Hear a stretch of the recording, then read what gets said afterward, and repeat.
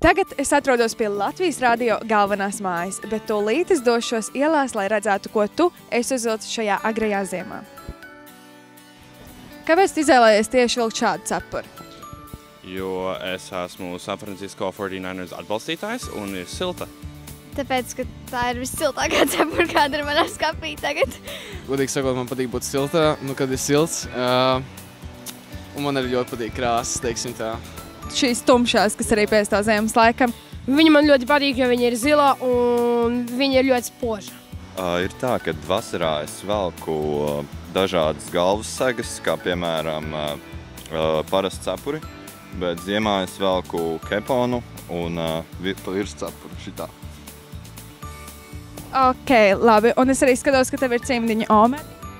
Man mamma uz, uzdāvināja, viņa iemainīja pret kaut kādiem suvenīriem, es nezinu, ja godīgi. Kāds ir tavs favorīts ziemas laikam? Uh, mans favorīts ziemas laikam ir liela šāle, lai būtu silti. Un es arī skatos, ka tev tagad ir šāla. Kāpēc tieši šāda šāla? Uh, man patīk, kad, uh, piemēram, novelk jaku un skolēs var apsikties, jo parasti skolā ir diezgan augsti. un Tur es varu uzlikt tā kā kasedziņu. Kāds ir tavs must-have ziemai? Šāle un jaka. Nu, galvenais jaka tāda nu, reāli silta un bieza. Garas zeķes. Silti zābaki un silta jaka. Jaka un melna šāla un melna cimdi. Kādēļ tieši melna šāla? Lai var izcelt jaku un zābakus.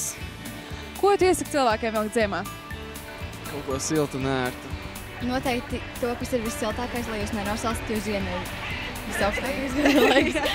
Uh, noteikti jāvelk šāle un cepure arī. Nu, cepure es parasti nevelku, bet nu, tas būtu labi, jā. Nu, cimdi, zābaki noteikti, jā. Ko nekad cilvēkiem nevilkt ziemā? Um, Teikrekls un šortus. Īsas zeķes. Flip-flops. Laiviņas. Lūdzu, nevēl sugas. Es domāju, ka labāk nevilkt uh, pleznas un uh, šortus. Visu priekš peldēšanai. Saules brilles. Bet ja spīd sauli, ko darīt? Lielāka cepure.